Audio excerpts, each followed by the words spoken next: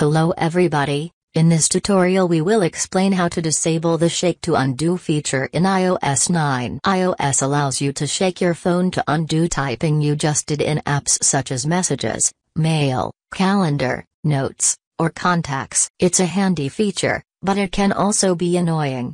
If you tend to accidentally activate the Shake to Undo feature during your daily activities, you can now easily disable this feature in iOS 9. To disable Shake to Undo, tap the settings icon on the home screen. On the settings screen, tap General.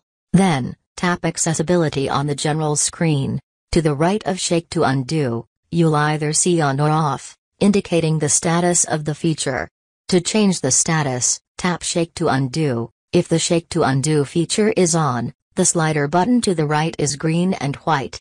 To disable the feature, tap the slider button. When the feature is off, the slider button is gray and white. Now you can shake your phone to your heart's content, and you won't activate the Shake to Undo feature. However, if you decide you want it on again, that's easily done.